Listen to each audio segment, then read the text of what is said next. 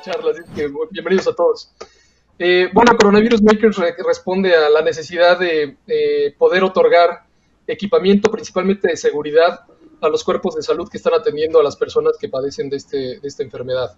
Eh, sabemos que pues, hay un déficit enorme en lo que es el país México sobre este equipamiento y eh, también responde a la necesidad de pues esa obligación autoimpuesta también de los makers que tenemos como somos bastante eh, proactivos en, sobre todo en cuestiones de ayudar pues la necesidad que quisimos cubrir fue el organizarlos de la mejor manera para que se aprovechara al máximo su tiempo, sus recursos y su esfuerzo, y que no fueran eh, desperdicios, tanto en material como en energía, sino eh, que fueran correctamente canalizados. Entonces, más que allá de abrir una convocatoria completamente libre y abierta para una ayuda, lo que quisimos fue servir como una central de ayuda donde podamos eh, validar primeramente a las solicitudes de ayuda que llegan, lo hacemos a través del teléfono y otros medios, así como de los makers, para que realmente la ayuda eh, sea eh, validada, autenticada y que llegue a quien realmente la, necesita y, bajo una, requisición eh, autorizada, ¿no? Como tal. Entonces, realmente es eso, es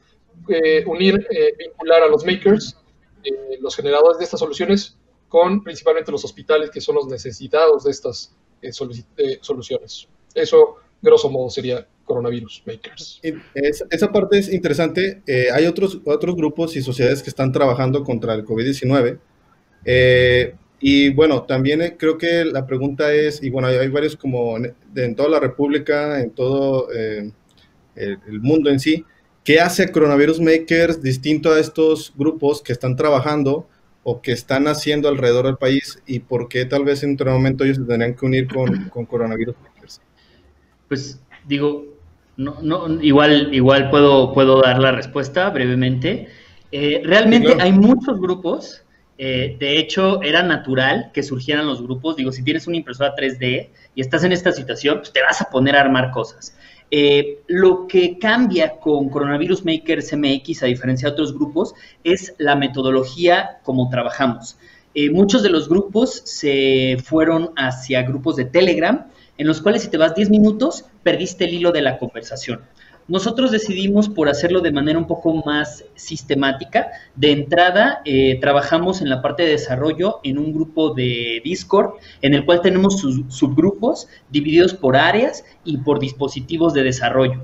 Y en cada uno de estos grupos hay grupos de ingenieros, de diseñadores, de profesores, de, muchas personas desarrollando en un tema específico. Entonces, la información está por temas y subtemas.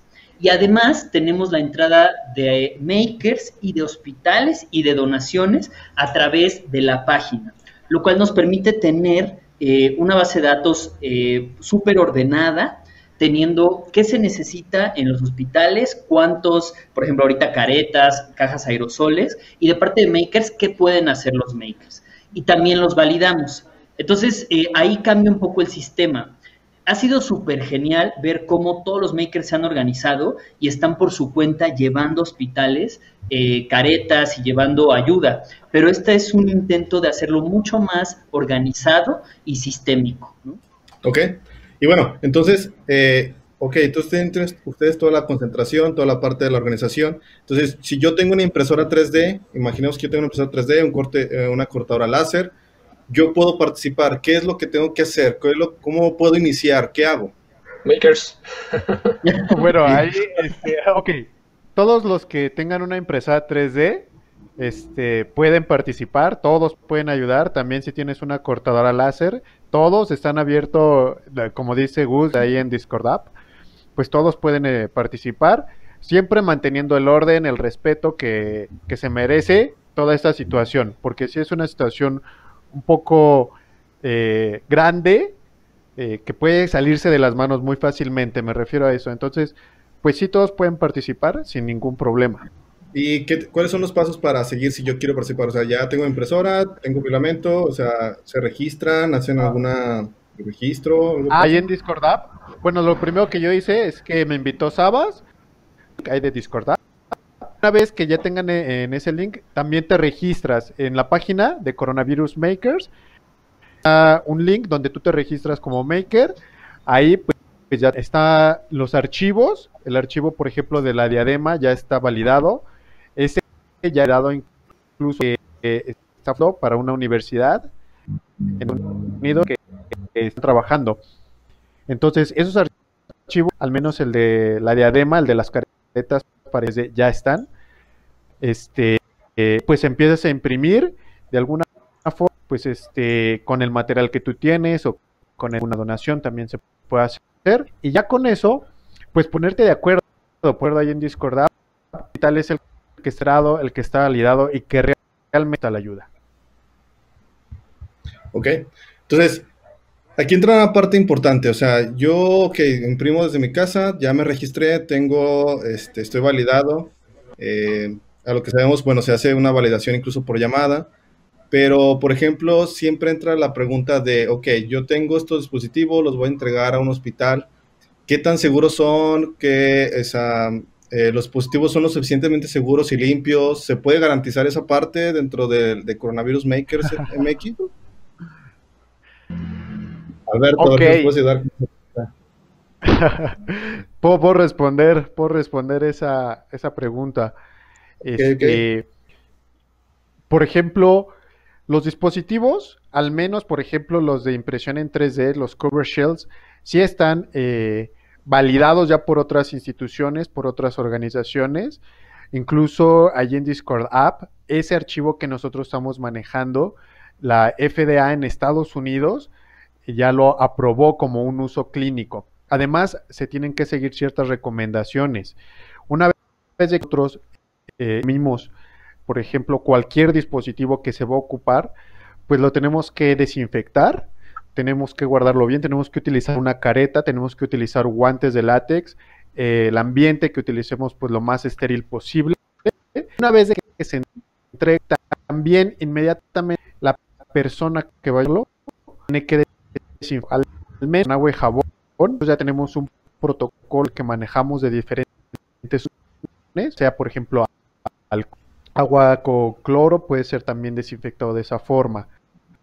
¿Ok? Y ya pues de ahí estarlo Es un tema delicado el de la limpieza de los dispositivos que se envían. Eh, realmente sería una mentira decir que nosotros tenemos en casa la posibilidad de enviar eh, un dispositivo completamente limpio. Sin embargo, eh, al menos con lo que estamos empezando a hacer, eh, que son equipos de protección personal que realmente no requieren ese, esa calidad en limpieza de un equipo médico, eh, pues estamos comenzando con eso porque es un poco más sencillo de distribuir de forma segura. ¿A, qué voy con esto? Los dispositivos que estamos usando son, no son un reemplazo directo de los equipos médicos de marca. Eh, es eh, una ayuda extra para que esos equipos que sí son de marca, que, son eh, escasos en estos momentos, se puedan usar donde de verdad se necesiten. Y, los médicos que están tratando, o, no, no solo los médicos, también personal de laboratorio, personal de limpieza, que requiere también de ese equipo personal, pero que no está en contacto directo con los pacientes, tenga material para trabajar. Ok, es, es importante esa parte, ¿no? De que no es un equipo profesional, sino es una alternativa para este tipo de equipos, ¿no? O sea, creo que es importante dejarlo claro.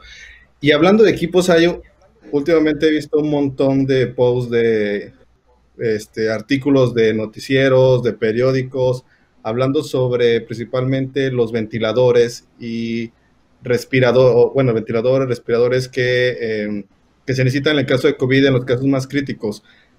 ¿Es realmente factible hacer estos eh, dispositivos, considerando que en México, bueno, eh, teóricamente en dos o tres semanas estaremos en la fase 3, que a lo que dice la Secretaría de Salud es el pico más grande y lamentablemente donde habrá más muertes?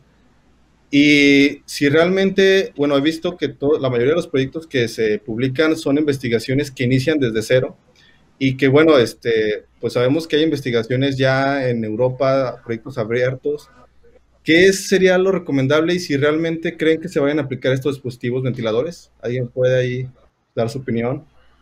Gus, que ya tienes la experiencia. Pues, si quieren, bueno, súper importante, si tú eres un maker y puedes ayudar, te vas a coronavirusmakers.mx, diagonal, este, que es dispositivos, y ahí puedes encontrar los dispositivos que ya están validados. En el caso de los respiradores, hay ahorita un auge de personas desarrollando eh, respiradores y de repente entran en unas, en unas discusiones con ellos mismos y con otros colegas porque es muy complejo. Eh, nosotros estamos trabajando ahora en el Oxygen M, que es de un, colectivo que se llama Prototify de España. Este, este prototipo se hizo también, eh, la versión IP, el Oxygen IP, se hizo en la línea de producción de SEAT, cuando en España estaba el pico de, enfermos de, COVID.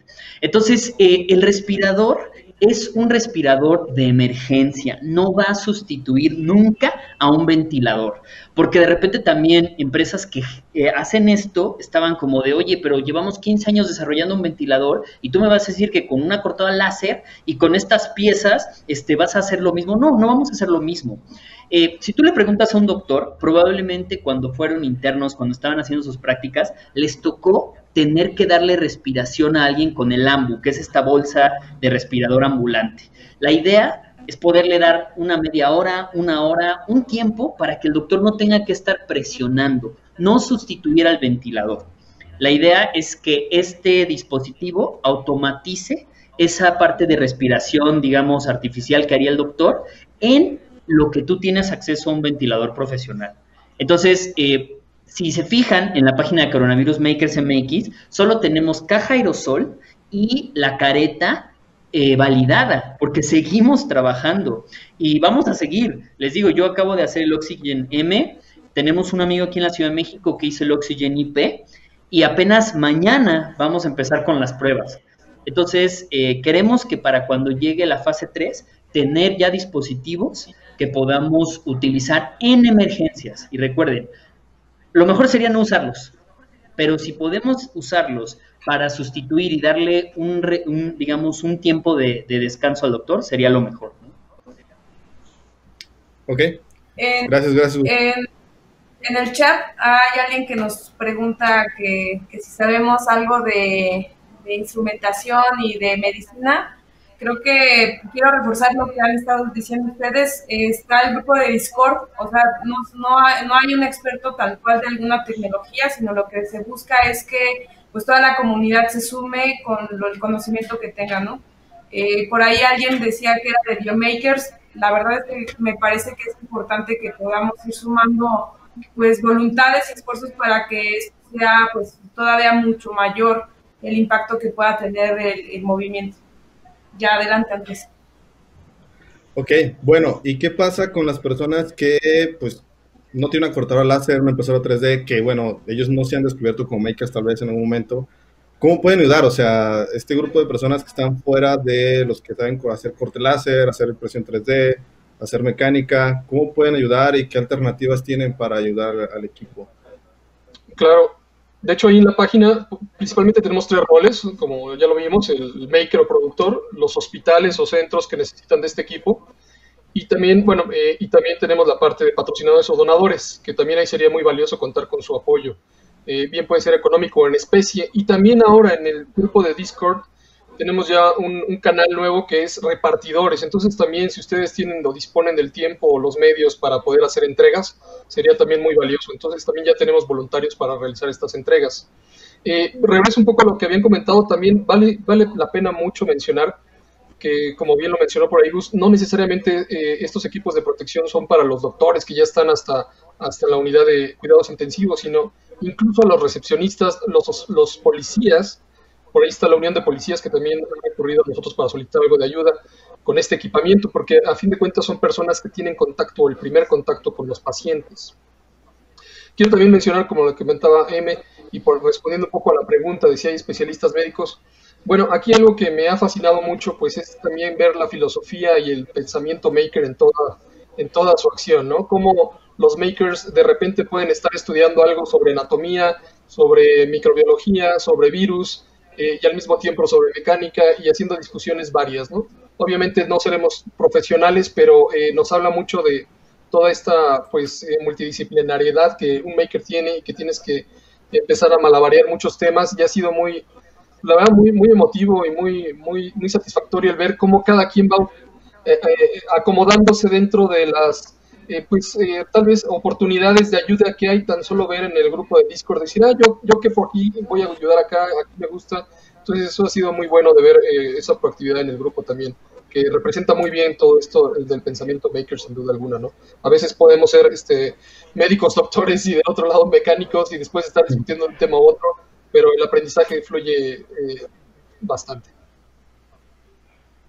Y, entrando un poco a ese tema, Antonio, eh, bueno, y a todos en general, eh, sabemos que, que, esta contingencia obviamente va a cambiar el mundo completamente, cómo nos comunicamos, cómo trabajamos.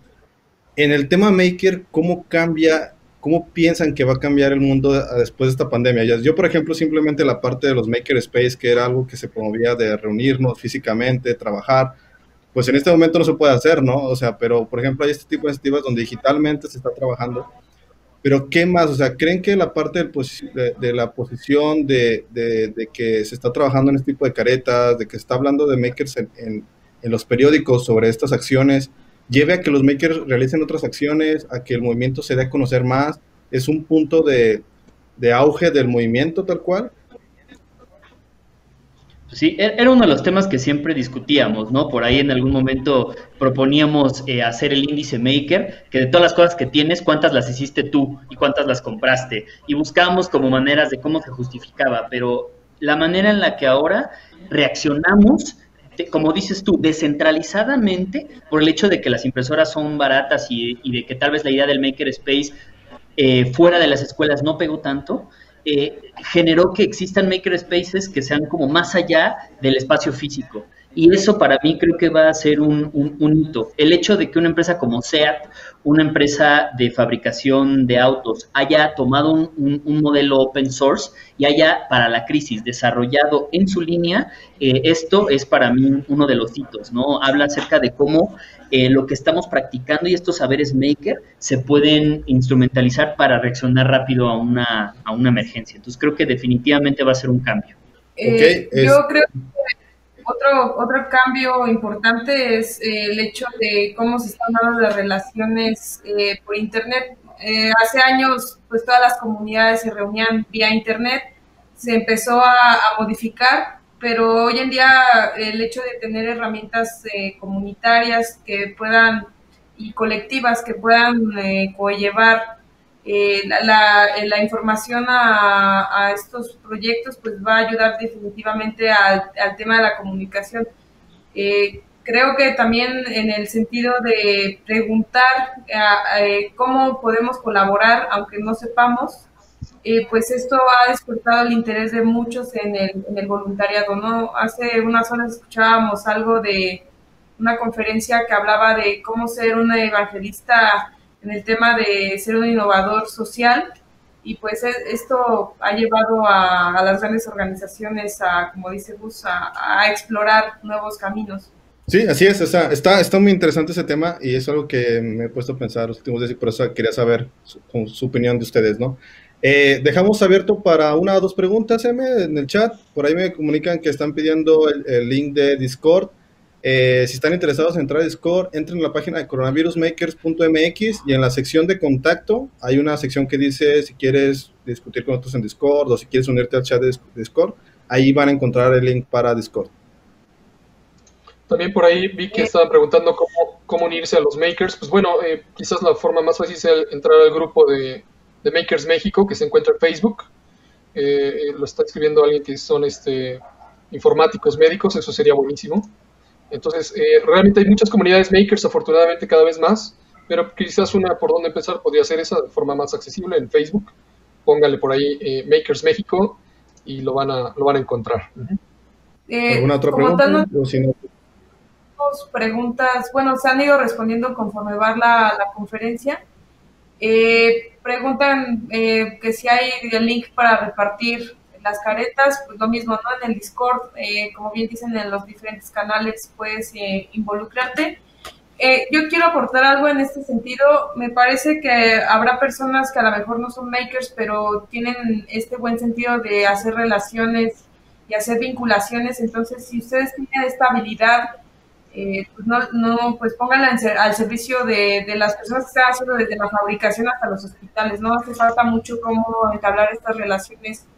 Eh, habrá quienes eh, hablen de cómo validar, pues lo mismo, ¿no? Si, tienes información, estás haciendo investigación al respecto, pues toda la ayuda es bienvenida en este momento porque al final los procesos de, de innovación y emprendimiento pues son los que están cambiando el rumbo de esta pandemia.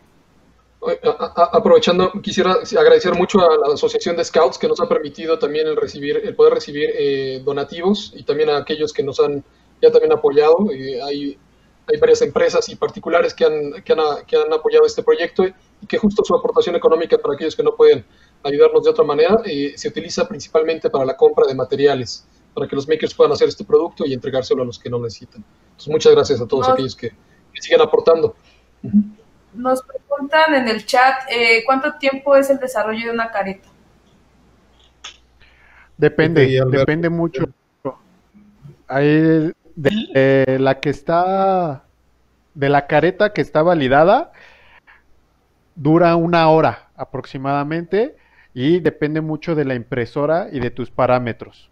Eh, pregunta Oliver, ¿el trabajo de los respiradores eh, ya validado algo sobre certificaciones o han tenido contacto con algún miembro del gobierno? No, todavía no. Eh, sin embargo, eh, estamos en fase de pruebas. De hecho, nos estamos apoyando mucho en nuestros amigos biotecnólogos, en nuestros amigos médicos, que son las personas que tenemos a la mano para, para trabajar, para hacer estas validaciones. Sin embargo, no está de más eh, tener contacto con, alguna institución que nos pueda ayudar a, ello. ¿no? Eh, eh, hay que aclarar que eh, los, las personas que nos están pidiendo estos, equipos entienden los riesgos y las responsabilidades de usarlos y, y justo tratamos como de aclarar eso con ellos y, ellos nos dan la retroalimentación de qué le podemos mejorar al producto o al equipo para que les ayude a, dar un mejor servicio. Ok, me están preguntando dónde donar, dónde pueden hacer donaciones. En el sitio web, en la parte de arriba, eh, hay un botón que dice quiero donar.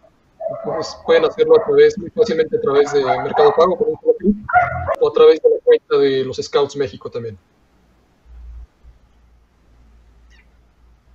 Ok, eh, bueno, no, ya no hay más preguntas. Eh, tal vez algunos datos que nos pudieran ayudar como a concentrar para que la gente se dé una idea de más o menos cuántos makers están apoyando, eh, tienen algún registro de Numeralia, de cuántas cartas han entregado.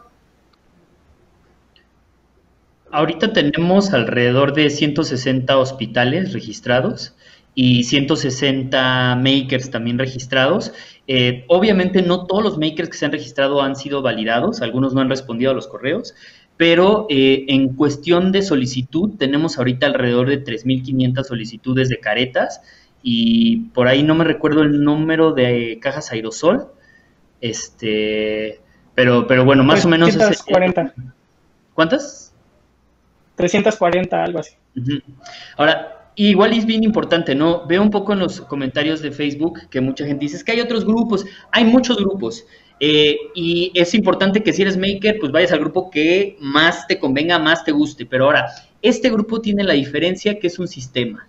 Y por lo mismo hemos tardado un poco en asignar y en entregar las caretas, porque antes de todo tenemos un sistema de validación, un sistema de validación de los dispositivos, eh, y creo que es para bien, es para lograr que se, se, se, pues se, usen los esfuerzos de ustedes, al final de los makers que contribuyen de la mejor manera. Entonces, eh, digo, son, todos somos libres de, colaborar como queramos, tú puedes hacer tus caretas y llevarlas, pero si te quieres acercar a un grupo más organizado, pues bienvenido, ¿no? coronavirusmakers.mx, ahí están las maneras de colaborar.